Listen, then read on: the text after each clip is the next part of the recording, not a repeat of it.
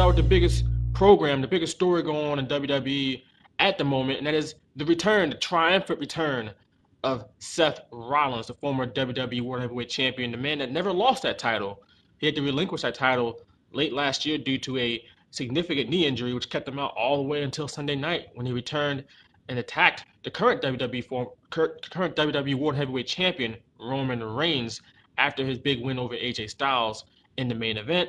Obviously, this sets up a main event for Money in the Bank, which is only a couple weeks away, where Seth Rollins will get the chance to win back the title he never lost against Roman Reigns in the main event of Money in the Bank. It is kind of weird that he's coming back as a sort of a heel, even though the fans are happy to see him and he got a huge ovation at the beginning of Raw, and that the fans are going to boo Roman Reigns. So they got fans sort of booing Seth Rollins, you got fans definitely booing Roman Reigns, but it is a story that makes sense and it should make for a very good match at Money in the Bank. Speaking of Money in the Bank, we had a couple of qualifying matches for the ladder match that would take place at the event in a couple of weeks. Of course, that would be for the briefcase where you can cash it in and win the title and all that good stuff that's happened over the last decade.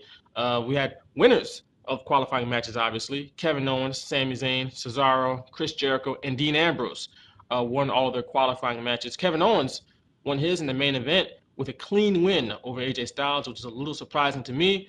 But I, have been under the uh, impression that Kevin Owens is probably going to win the briefcase all along. So, which one would you rather have, Kevin Owens, AJ Styles? AJ Styles looking like he's going, and he definitely is going to go with uh, a storyline where he the club is broken up, and we'll get to that in a second. But as far as Money in the Bank and this match, this match is usually very exciting every single year, and we got some. I mean, lineup already is pretty stellar when you have Owens, Zayn, and you have Jericho, Ambrose. I mean, Cesaro. I mean, that's pretty stacked right there. So that match should be a lot of fun in a couple of weeks. And as I alluded to earlier, we had a couple of breakups here on Monday Night Raw. Uh, we had the club, AJ Styles, Karl Anderson, Luke Gallows, kind of fall apart, where AJ Styles kind of blamed Luke Gallows and Karl Anderson for losing to Roman Reigns for the second pay per view in a row. An even bigger breakup happened before that when you had Charlotte kind of dropped her father like a bad habit, Ric Flair. This angle kind of came out of nowhere. I mean, we, we all knew that at some point Charlotte had to drop Ric Flair and, and, and not just separate, but drop him like a bad habit because she is a heel and it would make her a bigger heel by bad mouthing Ric Flair, who, who everybody, everyone loves. But there was really no build to this point other than Dr. Phil telling her that she shouldn't have Ric Flair by her side. I'm interested to see what comes next when it comes to Charlotte and Dana Brooke.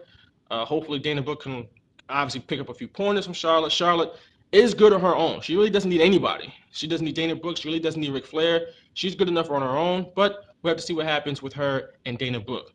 Thanks for watching. Make sure to follow my work on the Squared Circle blog on Philly.com. As always, you can follow me on Twitter at Vaughn M. Johnson, and we'll see you again next week.